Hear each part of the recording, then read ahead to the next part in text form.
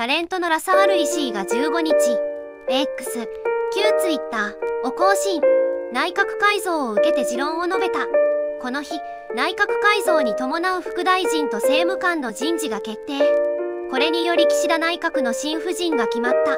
ラサールは内閣改造すると必ずすぐに新大臣のスキャンダルが出る。国会が開くとしばらくの間は野党はそこを叩いて自民党を攻撃する。もっと大事な議題が後回しになると指摘した。続けて自民党はそこを狙ってるんじゃないのかな。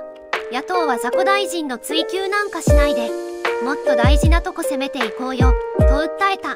これまで大臣にスキャンダル報道があると国会の委員会などで野党がその件を責める姿が多かったがラサールはより大事なことがあるのではと言いたいわけだ。